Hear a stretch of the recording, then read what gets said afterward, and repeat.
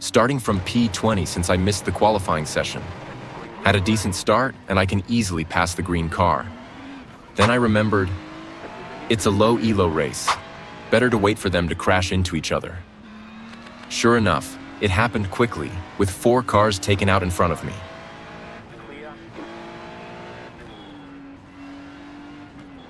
I could have taken T1 easily, but I decided to hold back a bit.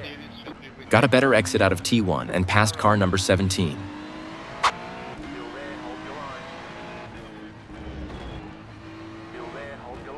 Track got a little bit clear and I was able to push, not being afraid of one player to catch dust and hit me.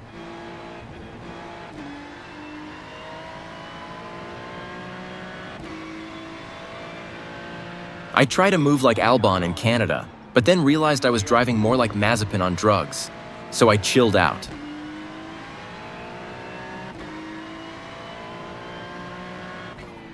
In the next corner, without much emotion, I had good grip and passed another car, avoiding the apex like it was nothing.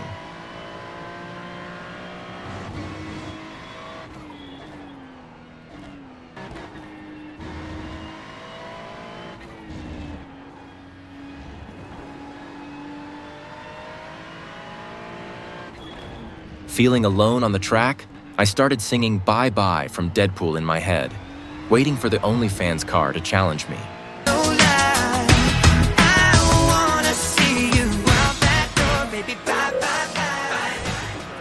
Late on the brakes, and the OnlyFans car, looking like a cheap soap, passed me.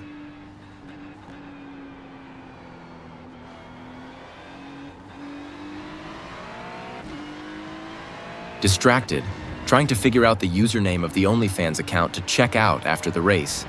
I missed the next corner and fell behind him.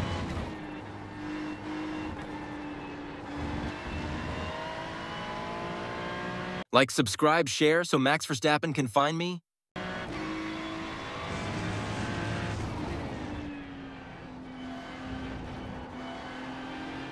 Looking forward to catch him like Latifi, who was chasing one point in F1, I managed to lose him but at least I didn't hit the wall in Abu Dhabi 2021 to create the biggest controversy of all time. So big win for me.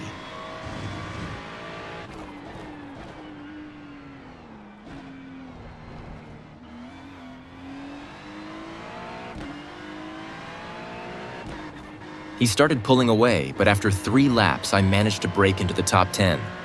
Progress.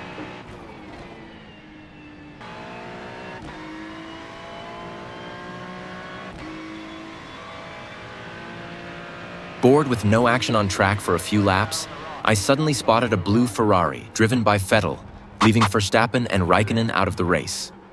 I happily took advantage and gained more positions.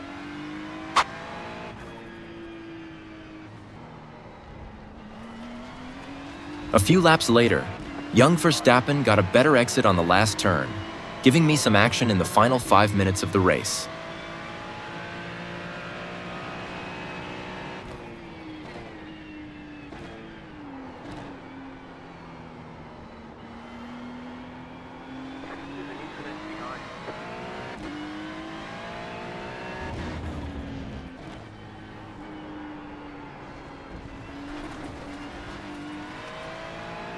However, young Verstappen, overwhelmed by the pressure from Horner, missed the corner, and I said,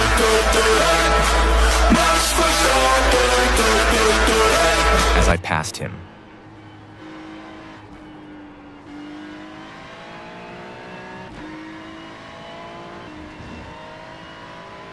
Then, the blue Vettel soap car was chasing me again, making me uncomfortable after seeing what he did to others. He missed the final turn, though, and I moved into fifth place.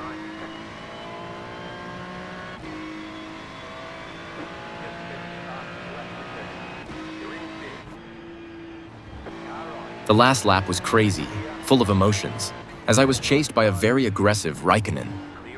He passed me after a slight contact, but I held back to avoid a DNF at the very end. In the final corner, angry Raikkonen missed it and decided it would be smart to hit me hoping I'd lose the race too. Karma got him, though,